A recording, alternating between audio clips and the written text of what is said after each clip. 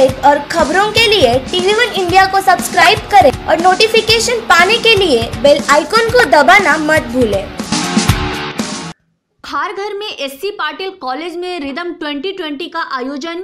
अभिनेत्री गौरी नलावड़े ने छात्रों में भरा जोश।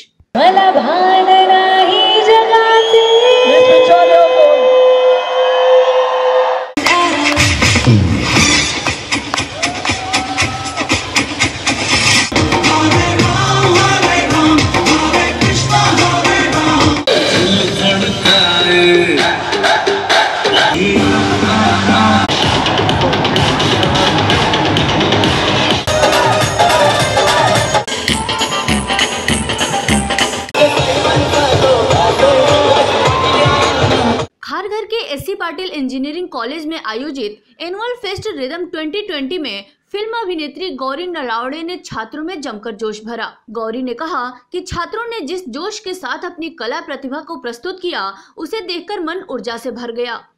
अभिनेत्री ने रिदम 2020 को छात्रों को एक्सप्लोर करने का ज़रिया बताया और मेंटल हेल्थ अवेयरनेस पर ज़ोर देने की भी अपील की।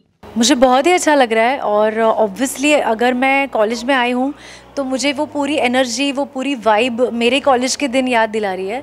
आ, इसका मतलब ये नहीं कि मैं बहुत बड़ी हूँ बट स्टिल मुझे वो सारे दिन मेरे याद आ रहे हैं जब हम फ़ैशन शोज़ की तैयारी करते थे डांस की तैयारी करते थे थिएटर की तैयारी करते थे। So obviously college events are fun और वो एनर्जी और वो वाइब मुझे बहुत अच्छी लगती है। अपना कल्चर जो है अपना बेस जो है मुंबई का महाराष्ट्र का वो शिवाजी महाराज है। और आजकल हम जिस स्पीड से जा रहे हैं वेब की दुनिया है इंटरनेट की दुनिया है उसमें कहीं ना कहीं मुझे ऐसा लग रहा है कि हमारा इतिहास जो है वो पीछे छूट सकता है।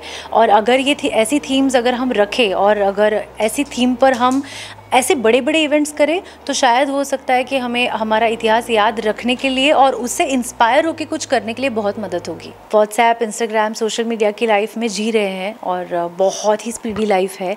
इसमें मुझे ऐसा लगता है कि मेंटल हेल्थ जो मैं हमेशा कहती हूँ मेंटल हेल्थ का अवेयरनेस बहुत ज़रूरी है।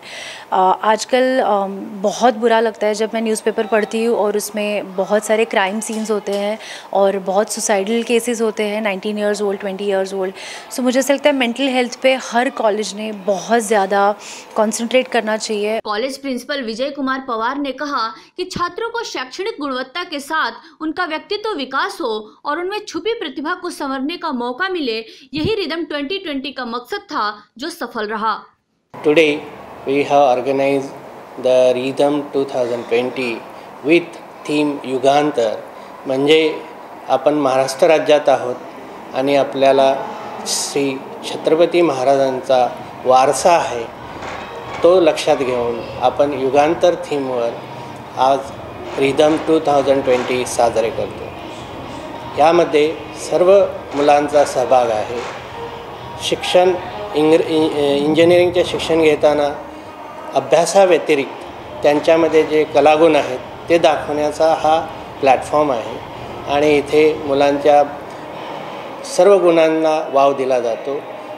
संगीत, त्यांचं गायन, वाचन आणि इतर कलाही साजऱ्या केल्या जातात. रिदम नाम ही कहता है कि जब आप जीवन में रिदम रहेगा तो you will be very much successful in your life because when you are going to live your life you required lot of struggle you you are going through the various struggles and in that struggle if you have rhythmic culture definitely you will be very much successful बता दें कि खारघर का S C Patil engineering college अपने technical प्रशिक्षण के लिए नवी मुंबई में बेहद मशहूर है छात्रों ने यहाँ पहली बार आयोजित रंगारंग एनुअल फेस्ट में जमकर परफॉर्मेंस दी और आयोजन के लिए प्रिंसिपल की जमकर सराहना की और उनके प्रति आभार भी जताया। प्रिंसिपल सर को थैंक्स बोलती हूँ मैं बहुत बहुत कि उन्होंने ऐसा रिदम्स 2020 एक प्रोग्राम अरेंज किया और हम लोगों को एंटरटेनमेंट करने के लिए इतना सब एक्टिविटीज़ उन्होंने दिया।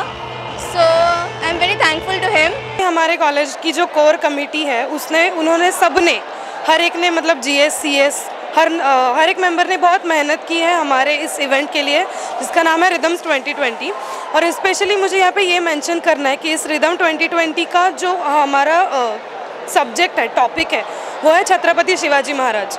तो आजकल कैसे होता है कि हम लोग हिस्ट्री को भूलते जा रहे हैं, लेकिन अभी हमने इसके इसका यूज़ करके हमने वापस वो सब एरा को शायद मतलब हमने कोशिश की है कि हम उसको वापस ज़िंदा करना चाहते हैं।